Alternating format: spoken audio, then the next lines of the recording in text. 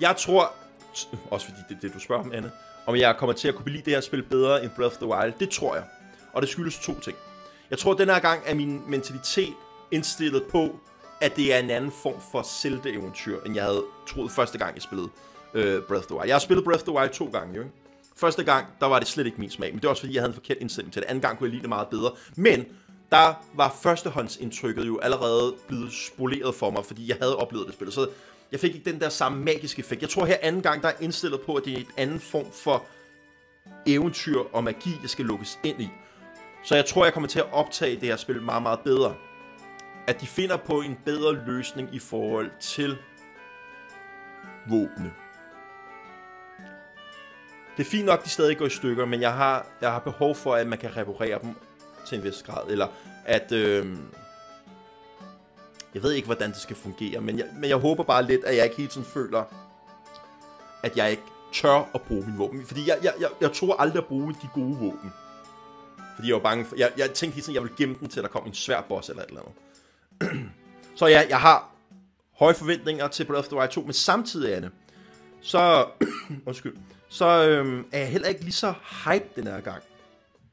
Fordi... For mig... For mig, der... øh, er det spændende og overraskende ved øh, Zelda-spil altid meget, at der er et nyt for, der er en ny form for art design. De har altid skiftet meget med deres art design og verden. Vi har selvfølgelig set undtagelser øh, med øh, Majora's Mask og Ocarina of Time, men der synes jeg bare, at Majora's Mask var så anderledes i spil, og havde så anderledes en, en atmosfære, at det, selvom de brugte mange af de samme modeller, så virkede det øh, meget nyt og friskt. Den her gang er der gået meget, meget lang tid fra Breath of the Wild til Tears of the Kingdom. Og jeg kan godt mærke, når der har været så lang ventetid, fordi mellem Majora's Mask, eller mellem Ocarina of Time til Majora's Mask, der gik der vist omkring to år, ikke? Det er omkring. Øhm, men her der har der været så lang afstand, sådan at jeg kan godt mærke, at jeg craver lidt sådan noget helt nyt. Og vi har jo kun set meget lidt fra spillet, så det kan også godt være, at de der meget nye egentlig ender med at komme. øhm, så, det, så, så jeg er lidt nervøs for, at jeg meget føler, at det er en... At det har lidt den der Galaxy 2-effekt på mig. Øh, når et nyt Mario-spil kommer, så bliver jeg også altid ekstremt hype. Jeg elsker Mario. Men jeg kan huske, da Galaxy 2 kom, var jeg ikke lige så hype, som da Galaxy 1 kom. Selvom jeg synes, Galaxy 2 er bedre end Galaxy 1. Så var der stadig den der... Ja, jeg har set det før, og jeg kommer til at elske det, og jeg synes Galaxy 2 er endnu bedre. Øh, bedre tight øh, level design. Øhm, så det kan også godt være, altså det er jo ikke skidt, men jeg tror bare ikke, jeg bliver lige så hype på det. Og fordi jeg ikke er lige så hype op til Breath of the Wild, eller undskyld, Tears of the Kingdom, kan også godt gøre sådan lidt, jeg skal se mere, og det er det, jeg mangler. Jeg, jeg vil gerne have set mere, så jeg kunne få den der hype-effekt. En af grundene til, at jeg også tror, at det her spil bliver bedre end Breath of the Wild, det er fordi, at i den der teaser, vil jeg næsten kalde den, meget korte trailer, der så man de der seks tårer, tror jeg, ikke? Jeg tror, det var omkring seks tårer eller syv tårer. Og det betyder lidt op i mit hoved, at vi nok får dungeons tilbage. Jeg kunne forestille mig, at, øh, at man skal samle nogle tårer, og så sker der et eller andet, og så kommer der måske to ekstra dungeons. Det er, mit, det er mit drømmescenarie. Eller tre ekstra dungeons, eller sådan noget der. Øh, så at det stadig har Breath of the Wild touch, men stadig har lidt det der, at man skal samle nogle emblemer for at åbne op for noget nyt, hvor der så sker et plot twist, og så skal man klare tre nye ting, og så klare Ganon-ting, eller sådan noget der. Men samtidig har jeg det også sådan der lidt, hvis de går hen til den detalje med, at man skal samle nogle tårer, eller et eller andet, så fjerner de måske også det element med, at man kan gennemføre spillet på en meget kort tid, og det der med, at man bare kunne gå direkte til slottet og gennemføre spillet. Og den ting var jo også ret unik for Breath of the Wild, så mange roste med, at man virkelig følte sig fri. Så hvis de fjerner den del, og det bliver mere sådan, at man skal klare visse opgaver for at kunne klare spillet, kan jo også godt gøre, at det hele kommer til at føles lidt mere øh, linært, uden at være linært, men, men, ikke, men ikke lige så åbent.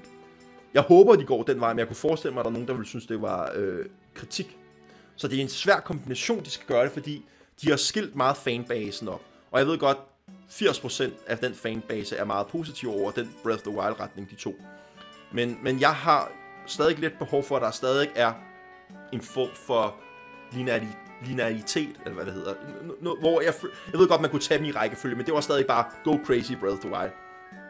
Du at klare alle dungeons, eller de der øh, Divine Beast, du kan bare gennemføre spillet, hvis det er det, du har lyst til. Men jeg har brug for, at der er lidt øh, øh, rækkefølge til en vis grad. Altså, du må godt klare på forskellige rækkefølge, men jeg skal stadig føle, at der sker, når du har klaret fire af dungeonene, at der sker en form for ændring. Sådan, at jeg, jeg, jeg kan ikke lide følelsen af, at når jeg har klaret fire dungeons, eller fire Divine Beast for eksempel, at, at jeg så stadig føler, at jeg er på startfasen i form for historien.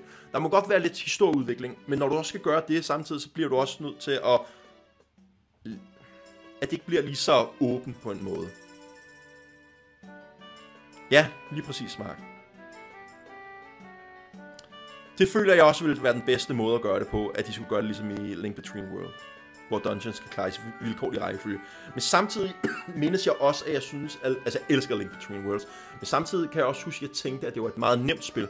Og det, er, undskyld, og det har måske noget at gøre med, at sværhedsgraden bliver lidt svær at justere, fordi at hvis du skal kunne tage dem alle sammen i en bestemt række, eller i en vilkårlig rækkefølge, så nytter det heller ikke noget måske, at en af dungeonene er ekstremt svær. Øhm. Men mindre, de kan jo selvfølgelig godt stadig gøre forskellige sværhedsgrader, så er man bare hardcore, hvis man tager en af de sværeste til at starte med. Jeg håber også lidt, at vi får lidt mere øh, sådan nogle nye item i dungeonene, som... Øh, ja, på en måde synes jeg, det var mega fedt, at vi fik alt i Breath of the Wild til at starte med. De der forskellige øh, ting med stoptiden og øh, bruge magnetisme og alt det der. Men samtidig har jeg også lidt lyst til, at jeg får nogle flere opgraderinger hen ad vejen. Det er svært. Altså, de har jo skabt noget genialt med øh, Breath of the Wild. Og jeg ved godt, mange elsker det. De fleste af dem elsker det, men jeg har også behov for at... Åh, det er svært. Jeg, jeg tror, det bliver hype. Jeg tror, det bliver godt, og jeg glæder mig til det. Ja, det er jo bare ligesom Ganons slot, og du kan klare det til at starte med, hvis du er fyldt nok. Ja, Ja, jeg tror faktisk, du har ret, Mark. Det vil nok være det bedste. Hej Niels. Mark skriver. Breath of the Wild har jo også lidt en styret rækkefølge af dungeons, hvis du følger de forskellige quests tæt, men du kan vælge at løse dem i den rækkefølge, du vil. Ja, det er også rigtigt, Mark. Jeg tror bare ikke, at det var... Om det, det var sådan, jeg kom til at spille spillet første gang. Kom til, så det var en fejl. Men det var sådan, jeg spillede spillet første gang, hvor jeg følte lidt de der side quest, quest øh, dele, og tog min rækkefølge, så jeg startede med vanddelen derovre. Og det var lidt det, der var min fejl, tror jeg, ved min oplevelse første gang. Jeg, jeg, kunne, ikke, jeg kunne ikke lide den måde, Breath of the Wild føltes for mig, da jeg spillede det første gang, hvor jeg tog dem i en form for rækkefølge. Fordi selvom der var en form for rækkefølge, så føltes det stadig historiemæssigt, at der ikke var en fremgang på en måde for mig. Og anden gang, jeg spillede det, der, der gik jeg egentlig meget ud i verden og bare udforskede og samlede alle mulige ting og fik gode våben, og så tog jeg... Så, så det værste er, at jeg holdt mig lidt for, lidt for Divine Beast anden gang. Det, der er bedst i Breath of the Wild for mig, det er verdenen og rende rundt i det. Øh, udforske, finde nye ting, det der med folk altid snakker om. Så går man, og så ser man lige noget, distraherer synet, selvom man var på vej over til en shine, men så går man til højre i stedet for at gå lige ud. Det er det, der er det fede. Det er Breath of the Wilds største styrke. Det er den, føler jeg. Og Shines'en er også fine og så der. Men jeg synes ikke, Divine Beast var højdepunktet i Breath of the Wild. Så på en eller anden mærkelig måde. så anden gang, der prøvede jeg lidt at undgå dem, indtil jeg var meget stærk, og de blev lidt nemme at klare. Og jeg håber også på, at vi får bedre bosses. Jeg har snakket om alle de der ting, der har, jeg har er, er problemer med Breath of the Wild. Jeg ved godt, det folk ikke er enige.